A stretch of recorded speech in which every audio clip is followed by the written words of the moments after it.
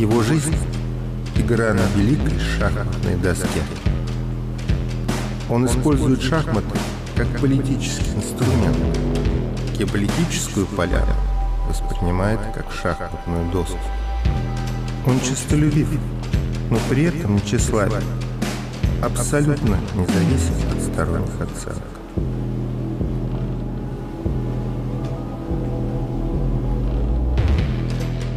Корона у него уже была, но железный трон он не принял. Его идея фикс – воспитать умный миллиард с помощью шага.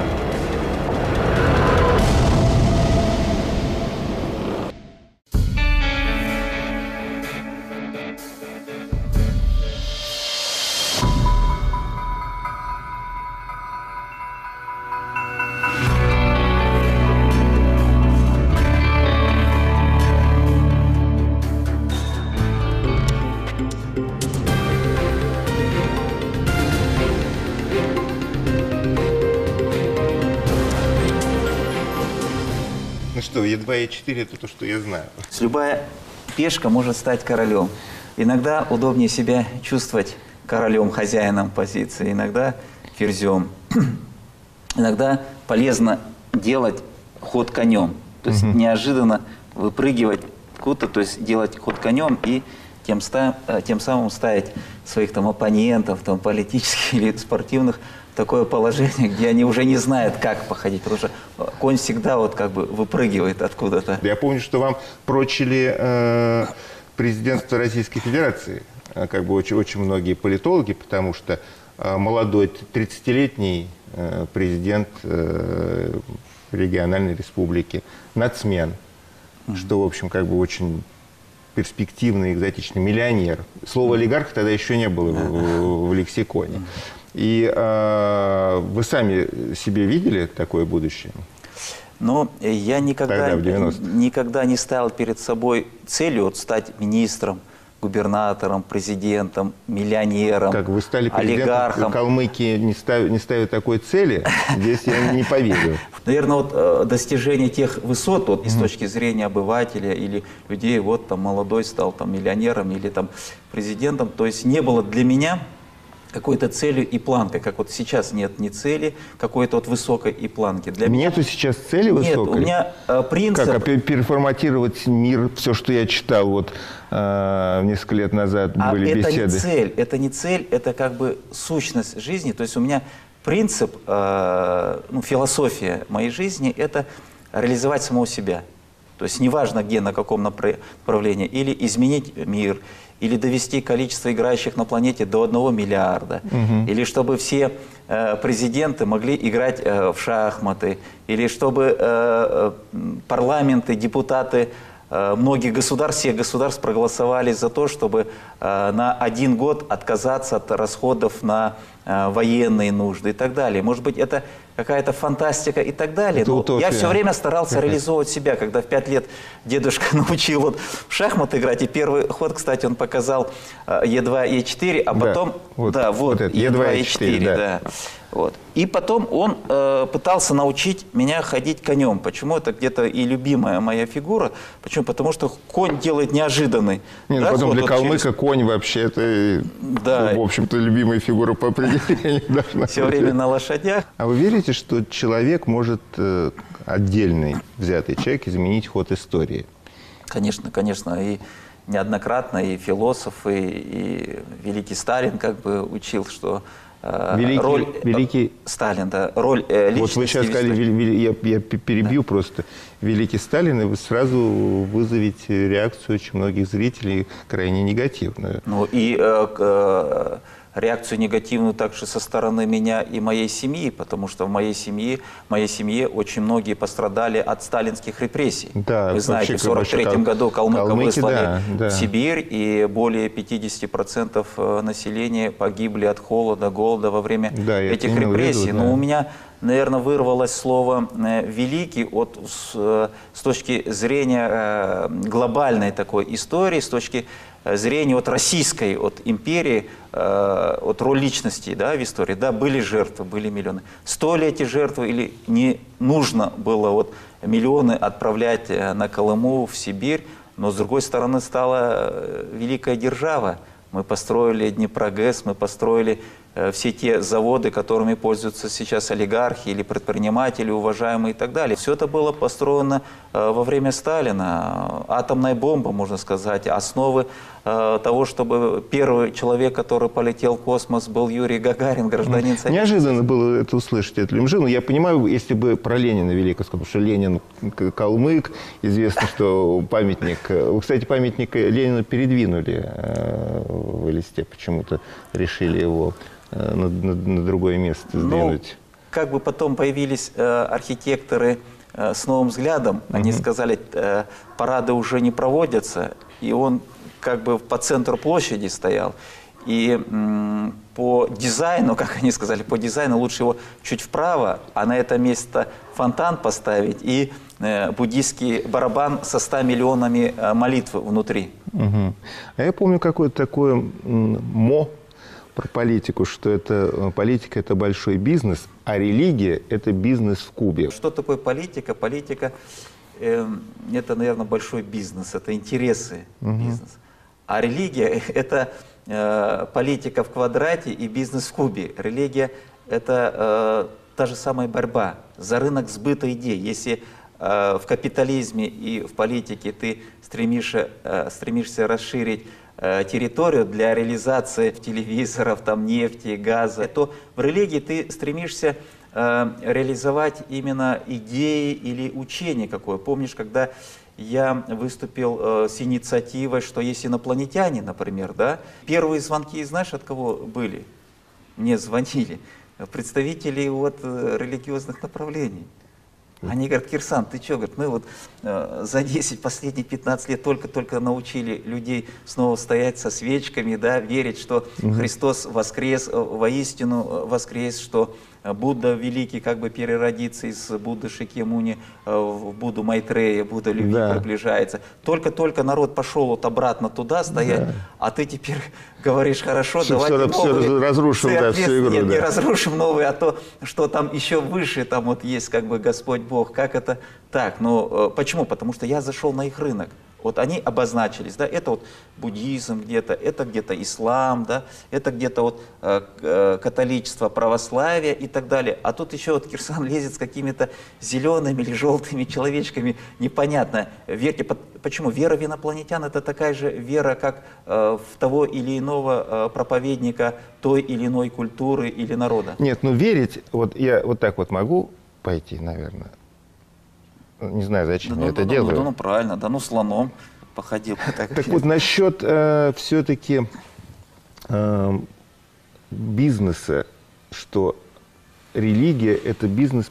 Почему? Потому что на религии зарабатывают деньги или потому что… Э, вот хотел бы вот немножко здесь вот э, понять э, установку Илюмжинова, который, с одной стороны, буддист, как бы, с другой стороны, маргинал, который утверждает, что он общался с инопланетянами. Угу. Одно дело верить в инопланетян, другое угу. дело говорить, что э, вы находились в коммуникации с ними. Одно от другого неотделимо. Ну, как же, вот. Если человек верит в Бога, значит, он чувствует, что это внутри него, значит, он э, видел его, значит, он чувствует его, значит, он общался с ним.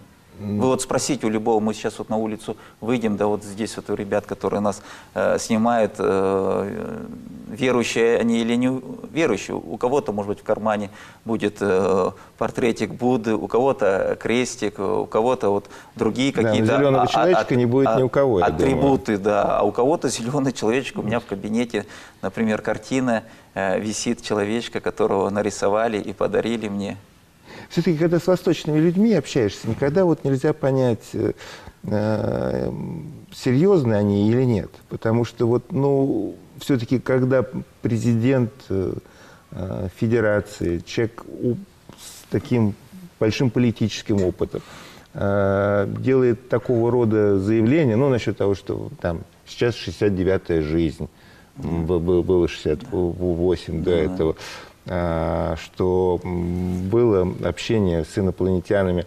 Здесь всегда теряешься, думаешь, что ли человек просто ставит эксперимент над общественным мнением, просто вот то, что называется сейчас, вот у молодежи есть такой термин «троллит», вот mm-hmm. смотрит на реакцию. А, то ли, то ли он, я, я же понимаю, что не сумасшедший, но э, то, то, ли человек преследует какие-то цели. Вот хотелось бы все-таки здесь разобраться насчет там 69-й жизни, допустим. Почему именно 69-й? Ну, здесь как бы дуализм, да, здесь двойственность, да. Mm. С одной стороны, конечно, жесткий холодный расчет. Любые заявления у меня просчитаны. В любом моем действии э, я очень четко просчитываю, потому что с пяти лет я шахматист. Я никакого хода... Вот я вот, съем хоть, шах. хоть пешечку, но... Ну, шах, да. Ну.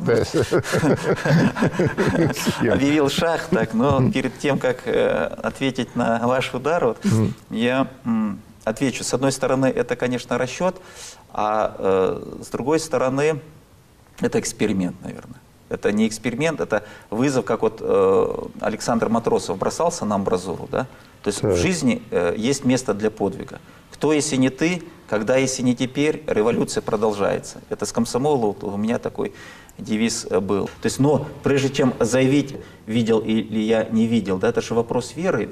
Я э, проанализировал, где плюсы, где минусы, да, вот как ты вот сейчас э, объявлять шаг мне или не объявлять шаг, да, ты начал думать, это плюсы сначала считать. Где плюсы? Плюсов никаких нету, да? Как для президента ФИДЕ, для президента Калмыкии, члена Совета Федерации. Вот именно, я не вижу, Это да. значит, тебя коллеги в Совете Федерации, коллеги губернаторов в Калмыкии вернешься, избиратели скажут, кого мы избрали сумасшедшего. Шахматисты, которые умные люди, скажут, кто нами командует, да? Какой-то идет. Об этом там и Каспаров, и другие, значит, писали. То есть минусы одни. А где плюсы? Даже родные э, дома скажут, там, Женя или Кирсан, ты что там, каких-то там человечков там видел, да, иди полечись там. Вот. Одни как бы минусы. То есть плюсов для э, политика Илюмжинова, плюсов для президента ФИДЕ, плюсов для просто родственника Илюмжинова и друга Илюмжинова я не увидел, и вы не увидите, да? То есть одни минусы. Так где решение? А возникает из этих всех минусов, минусов, когда прибавляются все минусы, то что возникает? Большой плюс. Плюс для меня, что я заставляю людей или начинаю заставлять людей задуматься, что мы не одиноки э, на этой планете, что разумные также и животные, и кошки, и собаки, и коровы, которых мы уничтожаем, убиваем и Это, едим, что да. мы не одиноки во всей Вселенной. Интересно, а какие-то а, аналоги исторические есть? Вы э, можете вспомнить каких-нибудь религиозных, политических деятелей, которые делали бы столь же неожиданные заявления, э, неоднозначно репутационно воспринимаемые. Ну, если историю так смотреть, можно э, всех назвать неожиданно когда кто-то делал, ну, вся, э, вся жизнь, например, Леонардо да Винчи, да, mm-hmm. который там рисовал подводные лодки, космические корабли и вертолеты, да, предположим, кто тогда думал, он вызов как бы бросал. Или э, Джордано Бруно, да, и все-таки там она вертится, круглая, когда человечество э, доказывало, что mm. на трех китах или на трех слонах спорили, диски, дискутировали, но человек пошел на сожжение на костер ради того, чтобы сказать, что все-таки она крутится. Или тот же персонаж из истории Иисус Христос, да, которого могли, и если он чуть-чуть бы поменял свое мировоззрение и не был бы так активен, да, а, его бы не распяли, он бы не принял вот эту мученическую смерть. Нет, вот это я все понимаю. Я только не понимаю, какая польза может быть мировому социуму от того, что э, там миллиард человек станет играть в шахматы. Задача какая? Научить миллиард человек играть в шахматы. Я правильно понимаю? Доказываю. Ну, э, почему one billion chess uh, players, one billion clever people? Почему вот я два года назад uh, провозгласил принцип, что на планете должно играть не менее одного миллиарда. Да? Сейчас проживает более 7 миллиардов людей. Тоже это как бы холодный расчет. Каждый год примерно я посещаю около 100 стран. Каждую неделю где-то с двумя, с тремя главами государств или с премьер-министрами я встречаюсь, начиная с таких развитых, как Япония, Китай, Соединенные Штаты, и заканчивая Тринидада Табако, Тога там, или там где-то Конго, Центральноафриканская республика. Так вот, посещая эти десятки стран, общаясь и с главами государств, и с простыми людьми, и видя разницу социально-экономического и политического устройства, и видя, как в последние вот буквально несколько, несколько лет мир взорвался, да, э, несколько сотен конфликтов. Сейчас э, финансовые кризисы, политические кризисы, там, религиозные э, кризисы, шииты, сунниты и так далее. Я начал задумываться, а почему вот это? Вроде бы всего хватает – долларов, валюты много, да, можно хоть сколько напечатать. Нефти, газа, золота, бриллиантов тоже хватает. Продуктов питания, вроде бы, если так равномерно поделить на человечество, все хватает. Вроде бы э, Бог дал нам эту планету, и все для нашего э, существования или сосуществования у нас есть. А почему вот мир так закручивается, как бы сильнее и сильнее по спирали, и все, и больше и больше конфликтов? От чего? Я как бы со стороны на нашу планету посмотрел – Откуда это? Нехватка ресурсов? Нет, всему все хватает. Чего недостаток образования? Вроде бы там все вот э, умные, там Гарварды, там ГИМО там, и так далее там заканчивают. А что ж, что неумные э, депутаты или э, министры? И вот здесь вот я пришел к мысли, что не то, что неумные, а что для многих просто отсутствует принцип first think. Сначала подумай, а потом сделай ход. Э, любой руководитель, он не подумав, подписывает постановление, принимает закон, который потом негативно сказывается на народе. Так в чем тогда причина того, что у нас войны, что у нас финансовые кризисы, что мы постоянно из-за чего-то воюем и ссоримся? А оказывается, из-за нехватки думающих людей, думающих именно наперед, Разве не, не, не, это не следует просто из природы человека, как хищник? Это, с одной стороны, есть, да, это можно как бы тут э, два принципа, но э, прежде чем мы будем потом кушать э, друг друга, мы сейчас вот убиваем, давайте немного остановимся. А для этого нужно, чтобы было как можно больше думающих людей, где? В парламентах, там, вот, в правительствах. Поэтому если мы создадим такую критическую массу, сейчас 600 миллионов играет на планете, если мы доведем количество играющих в шахматы до 1 миллиарда, а это значит э, количество людей, для которых существует принцип «сначала подумай, а потом прими решение», то из этой критической массы, из миллиардной массы людей уже будет большая вероятность, значит, что больше людей попадут в парламент, правительство, правительство станут королями, президентами, министрами, пэрами и мэрами, значит, количество неправильно принятых решений для человечества будет в геометрической прогрессии уменьшаться, а если количество неправильно принятых решений и законов будет уменьшаться, значит, жизнь наша будет улучшаться, и мы с тобой будем хорошо жить. обязать всех парламентариев сдавать какой-нибудь зачет?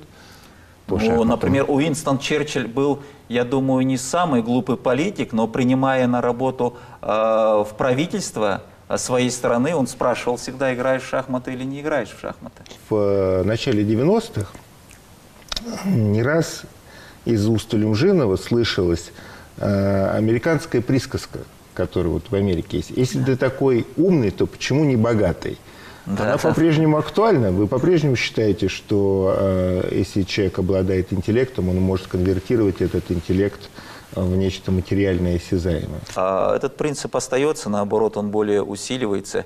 А, если ты а, можешь управлять своим мозгом, если ты достиг чего-то в жизни, я имею в виду через свой мозг, если ты умный, то почему не богатый? Но богатый не в смысле того, что там одна яхта, две или три яхты, как бы в жизни ты сколько бы ты денег не заработал, а, ну, ну две, вот три или четыре э, эти чашки борща не съешь, да? Если ты умный, то почему не богатый? То почему э, то, что тебе Господь дал, э, эти деньги ты не реализовываешь для того, чтобы там посещать там театры, музеи, дальше не обогащаешься, а не попусту там тратишь на там предметы роскоши, да, свои вот эти средства. То если ты умный, то почему не богатый? Именно богатый в смысле дальнейшего своего интеллектуального развития и в смысле, чтобы ты вот смог э, обеспечить э, себе на жизнь, э, помог своим родным, близким. Ну, как-то мне кажется, вот э, в течение нашей беседы уходите все-таки, мне кажется, от вопроса. Вы всегда отвечаете не, не, не совсем на вопрос. Я сейчас продемонстрирую, кстати, что я человек совершенно нерасчетливый и живу ежесекундно. Я просто отдам фактически коня за пешку, то есть mm-hmm. под, подставлюсь да. свою лошадку под вашу, но зато ты лимузин выиграл фигуру. И, а, а следующий ход э, вы сделаете уже во второй части mm-hmm. нашей беседы.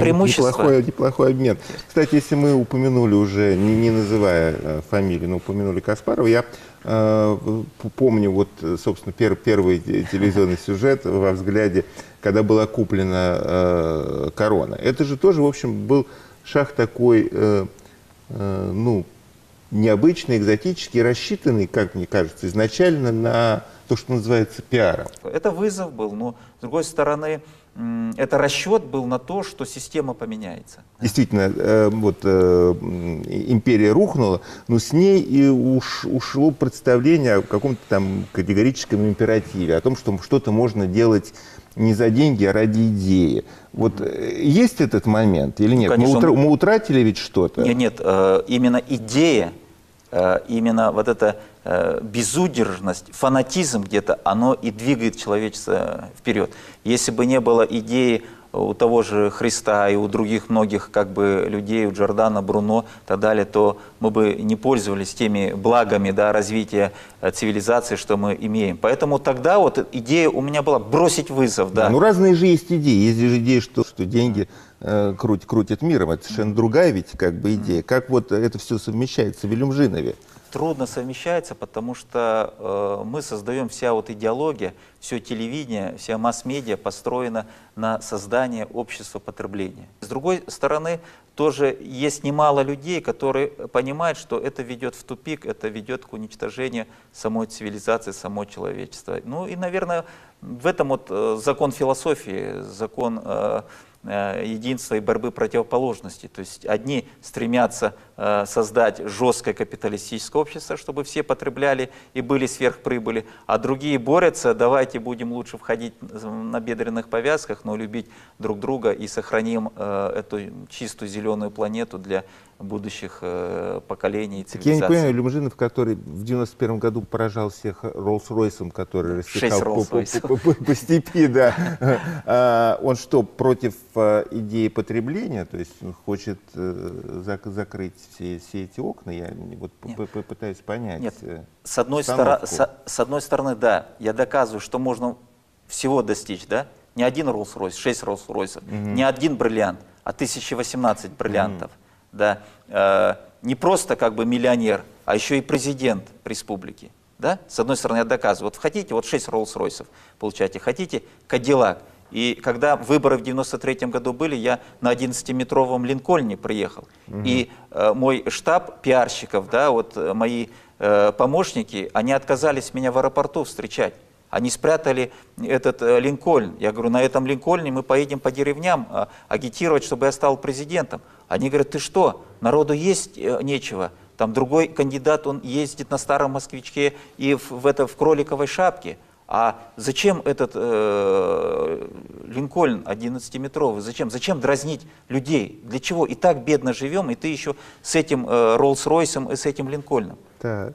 Это вызов был. Я говорю, нет, давайте. Я сел в этот Линкольн, сказал, если никто не хочет, я сам за рулем поеду. Я поехал в первую значит, э, деревню в Якубурульском районе. За рулем? Я, я поехал сначала за рулем, но потом мой друг, помощник, там, Эдди Каруев э, и Санал Кугультинов, они сели вместе со мной. Но все мои пиарщики, все мои помощники, весь мой штаб разбежался. Они говорят, мы с тобой не будем работать. Зачем -hmm. э, позориться? Ты уедешь в свою Москву или Швейцарию, или в Америку. У меня в Америке дом тогда был. А мы здесь останемся. Нас разорвут на части. -hmm. Но я приехал прям э, в эту деревню бедную, где э, закрытый клуб там был. Э, люди по полгода зарплаты не получали. Они вышли как диковинку. Как?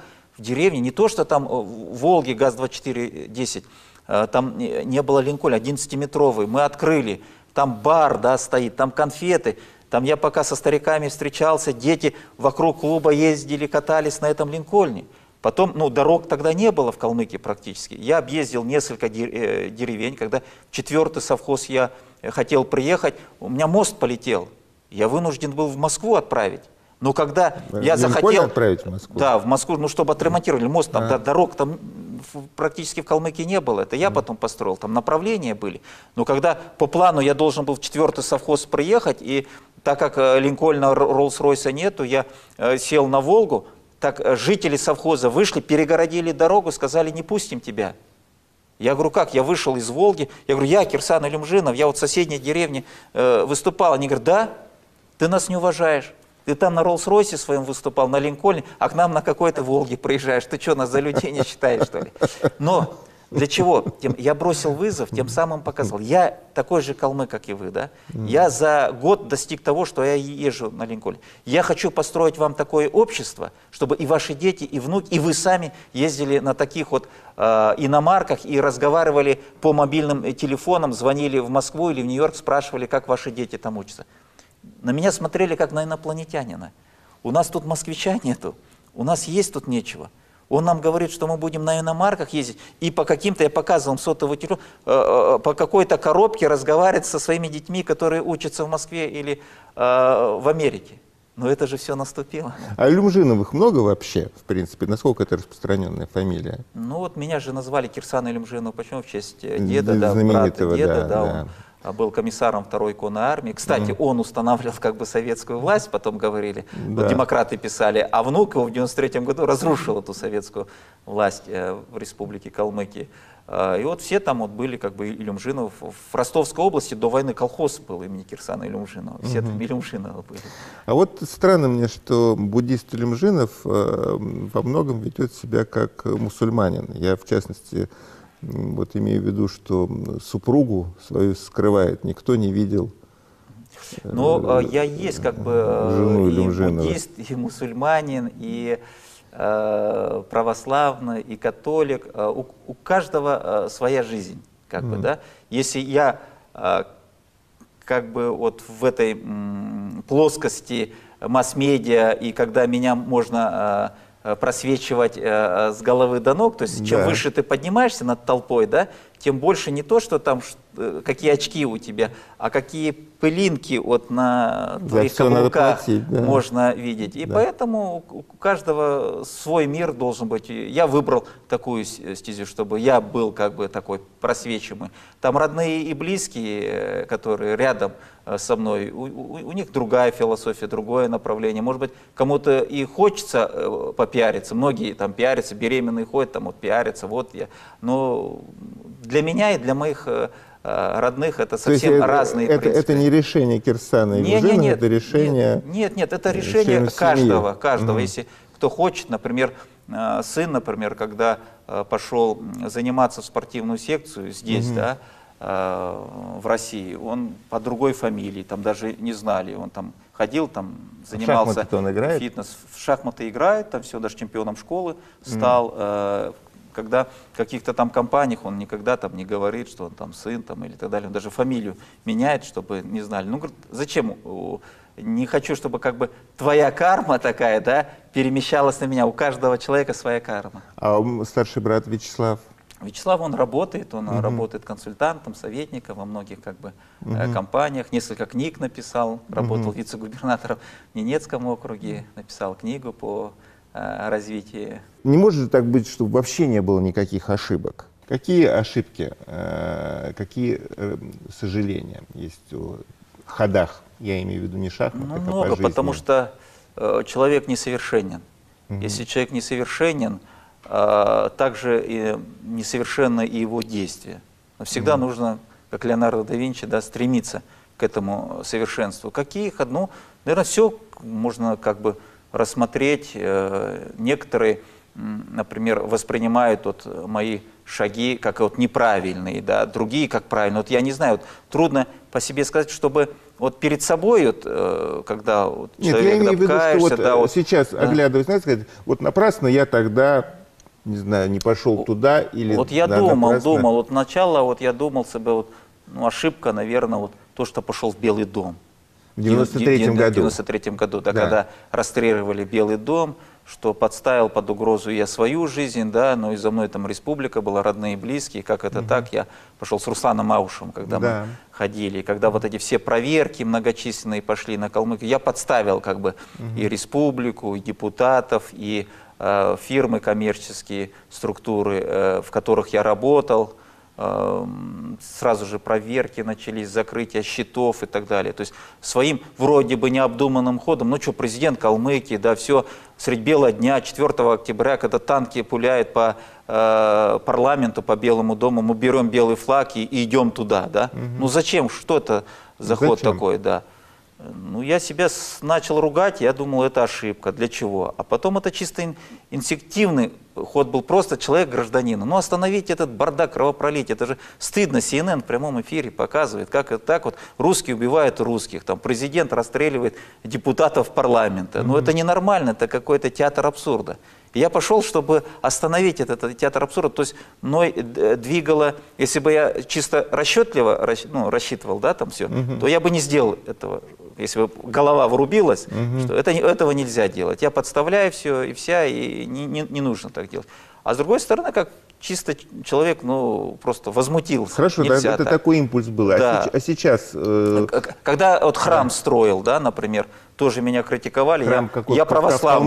Православный я первый православный. на- Ну, зачем там, вот я начал в буддийской республике, где там 65% проповедует буддизм, в 94 году, где в Калмыкии не было ни одного буддийского, ни одного православного храма, вообще ничего не было. И первый храм, который я строю, я православный. И тоже это вроде бы ошибка была. Ну, калмыки, старики, которые меня выбирали, вот, которым негде помолиться, э, зачем Кирсан, наш буддист, там, вот, с Далай-ламой встречался, зачем он для русских, ну, для православных храм, вот этот крестовоздвиженский храм в селе Приютном, туда патриарх Москов вся Руси Алексей II приехал, все удивились. Маленький храм на э, 50 человек, и сам патриарх приезжает его освещать. Это, с одной стороны, ошибка была, но потом подумал, ну все же люди равны, какая разница, там 10% или 90% ну, все-таки это была ошибка или нет? Я вот Нет, пытаюсь потом- понять сейчас, вот, Нет, не ошибка. Или когда стал строить самый большой буддийский храм в Европе, я построил. да. Зачем тоже на меня наезжали оппозиционеры, там, где- зачем нужно было больницу построить? Вот, давай построим больницу, зачем ты строишь храм? Хотя и крестовоздвиженский храм, и буддийский храм, все эти храмы строились на личные деньги. В связи с 93 годом хотелось бы уточнить нынешнюю э, оценку нынешнюю э, таким фигурам, как Горбачев и Ельцин. Потому что у нас прозвучало, что Сталин великий в системе координат Лемжинова, Ленин по определению великий, а Горбачев великий, Ельцин Горбачев великий. и Ельцин, и Путин э, все великие. Почему Горбачев э, великий? Мы недооценили его перестройку. Не все воспользовались его перестройкой. Михаил Сергеевич э, действительно гений, гений человечества, который э, смог не просто э, перестроить систему, а ко- который бросил перчатку в изменение сознания. Да? Вот за железным занавесом был Советский Союз со своим ядерным оружием. Здесь холодная война, Соединенные Штаты Америки, НАТО и так далее. Да? И вот в то время простому комбайнеру из Ставропольского края, секретарю э, райкома да, Ставропольского кра- края из провинции приехал, вот, э, я помню, когда мы с ним э, в Швейцарии, в Лозанне, когда он уже не стал президентом, ехали на закрытие чемпионата мира Карпов Анант, мы сидим в этом Мерседесе, там мигалки там вот так вот вокруг по- полиции, и он меня так э, по коленке бьет, говорит, слушай, вот даем, ты, говорит, простой калмыцкий парень, я, говорит, и, стар... и в центре Европы, говорит, дороги перекрыли, и мы с тобой едем. Я говорю, Михаил Сергеевич, вы уже забыли, что президент там был. Так вот, возвращаясь к Горбачеву, он великий почему? Он перчатку бросил, он переделал э, сознание. Но перестройка, мы бы сейчас жили в 10 раз лучше. Все люди, не только в России и в Америке и так далее. А Его перестройкой воспользовались только некоторые, да, вот, страны бывшего Советского Союза. Мы отказались от гонки вооружений.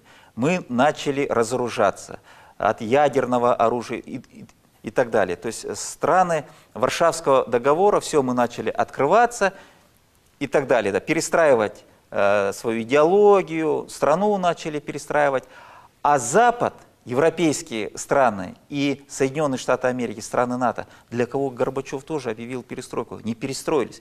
Вот им бы вот эти миллиарды сэкономленных долларов бросить не на создание новых они видов обманули. оружия, они обманули, а как раз направить к нам, в Россию, в Узбекистан, в Казахстан, в Белоруссию, чтобы эти деньги пошли на создание новых научных центров, культурных центров, для спасения этих э, культурных э, памятников. Не вымывать наши мозги, начали наших талантливых ученых, Вы ребят прям приглашать в Соединенные Штаты Какой Америки. идеалист? Ну, прям вот я, я даже не понимаю, как вы руков- руководите всем, чем руководите. Ну, просто вот, ну, ну как это вот... Не, не, не, нужно было. Ну, Горбачев как ребенок поверил. Э, Горбачев как ребенок поверил этому, объявил перестройку, а его обманули. Ельцин тоже великий, потому что каждый народ достоин своего короля, достоин своего президента. И Борис Николаевич Ельцин оказался именно в то время и на том месте. И нужно было доразрушить вот эту систему. Но он и разрушил ее. Хорошо. Он ее разрушил. Теперь мы переходим к Путину. Потому что прозвучало, что и Путин великий. В чем величие э, президента Российской Федерации? Ну, потому что а, то, что начал Михаил Сергеевич, да, Советский Союз как бы Да. разрушать, идеологию. А, Борис Николаевич, кушайте суверенитеты, сколько съедите. Да. Армии, флот, хотя един, как э, великие русские цари говорили, только два могут быть Союзника, союзники, да, в армия, да, России, да. и флот. Все вроде бы, и границы открыли, да, и архивы КГБ Западу отдали, все, да, всю агентурную сеть вот раскрыли, все, вроде бы все по кусочкам, по кусочкам, по кусочкам разрушилось. Ну и тут приходит такой как бы незаметный подполковник КГБ Владимир Владимирович Путин.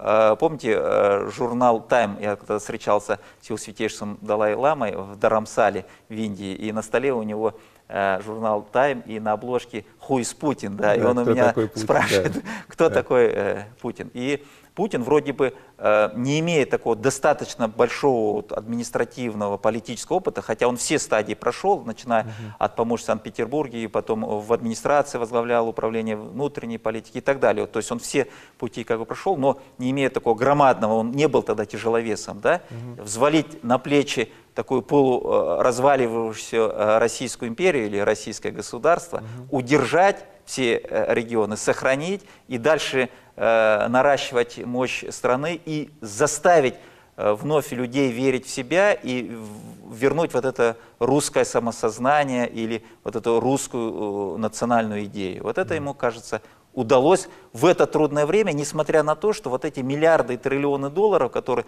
Запад сэкономил на Горбачевской перестройке, они направили на то, чтобы дальше развалить Россию, Путин смог удержаться за счет как бы наших скудных ресурсов, вот того потенциала, который есть, и э, сказать, что мир не должен быть однополярным, что как везде в природе э, должны быть и другие краски, не, не только краски звездополосатого флага Соединенных Штатов Америки. У нас однополярная ситуация складывается на доске, мне кажется. Я так предполагаю. Да не, не, у, у тебя Да? ферзь уж.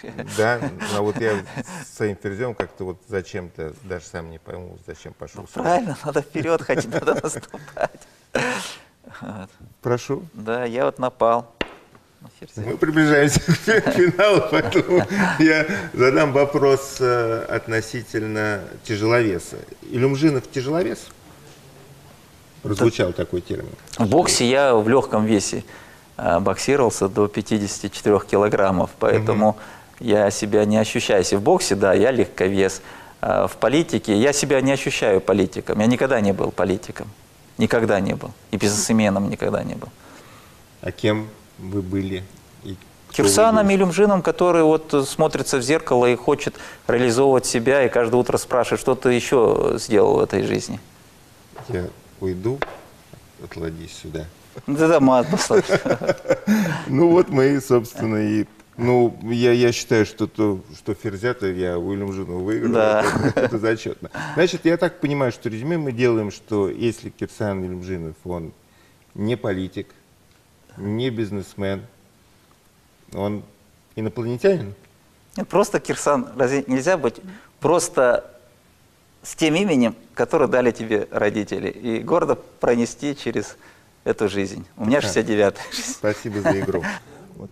Я прощаюсь, но по формату у нас в программе предусмотрено послесловие. Я оставляю наедине с камерой. Спасибо. Спасибо. Но те вопросы, которые задавал Евгений, э, та э, форма или вот э, канва, концепция нашей встречи, беседы, мне кажется, она удалась. Он не старался загнать в угол, там, подловить на каких-то моих цитатах, высказываниях. И религия, и шахматы, и политика, и отношения к деньгам, к бизнесу, то есть и такие глубокие философские вопросы. Мне кажется, что-то удалось нам.